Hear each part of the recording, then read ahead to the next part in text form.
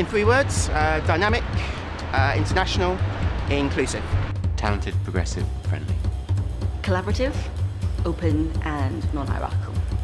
Community, varied, ambitious. Changing, challenging, supportive. Dynamic and very modern and very fun. Challenging, intellectually challenging, but friendly. Is that three words? In three words, open, diverse and respected.